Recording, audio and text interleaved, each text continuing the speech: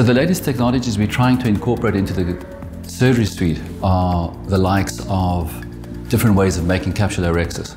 So the manual technique works pretty well, but it's not as repeatable as the likes of Zepto or Capsulaser. For me personally, I really like the idea of Capsulaser.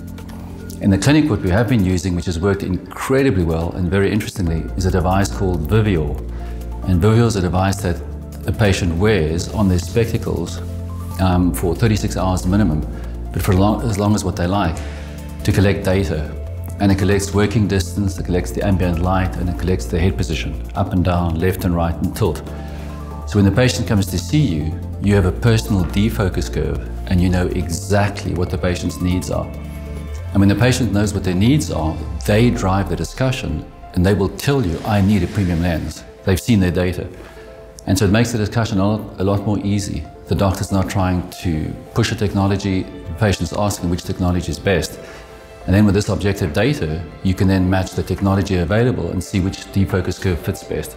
So that's really changed the way we manage uh, premium patients. And in fact, any presbyopic patient. My premium presbyopic correcting lens uptake was about 4 or 5% in general. And we're seeing using Vivior that approximately 70 to 75% of patients choose a premium technology. And the moment the patient knows what problem is being solved, they're far more likely to accept any of the, the associated dysphotopsia or so forth. So that's really made a difference.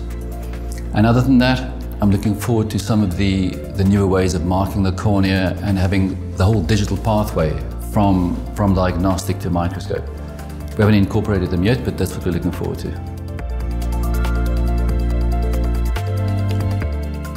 So if we look at different countries across Europe and across the world in terms of technology adoption, I do see differences. There are places where adoption is much more readily and from my perspective, it seems as though if there is remuneration involved, that people are more likely to adopt technologies faster. And if there aren't, then they tend to be slower. So in the mind of the surgeon, you're continuously looking at what the potential benefit is versus the potential issues around the technology. So in Ireland, we don't have, there's no remuneration for premium lenses. So our USP in the clinic, our number one on the mission statement is patient satisfaction is a top priority. And I believe we don't have the right as surgeons to say, I don't do multifocal, so you can't have a multifocal. I mean, if I don't do it, I can refer you to someone who does. So I believe that everything should be available for everyone. So in Ireland, it's only about patient satisfaction.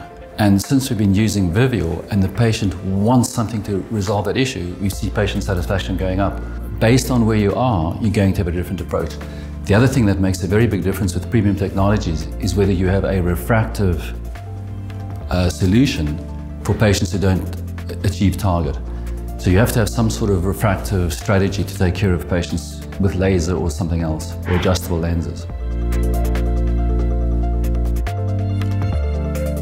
The pitfalls I would see with current technologies is when they're used without thinking about the patient's needs. I think the assessment is really important to try and get an idea of exactly what the patient's needs are.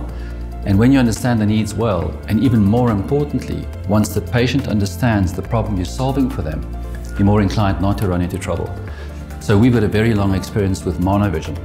And at this point in time, people think we, we might be taking the long route to continuously do monovision trials, but we do them to make sure that it's going to work out for the patient. And in fact, for refractive lens exchange, I routinely do a multifocal contact lens trial, even though you won't get the same multifocal in an IOL, but at least you get the idea of whether the, the patient can adapt to multifocal technology. So when assessing the patient's needs is paramount. If you, if you use any of the technologies as good as they are, without ensuring the patient is a good candidate, you may run into trouble.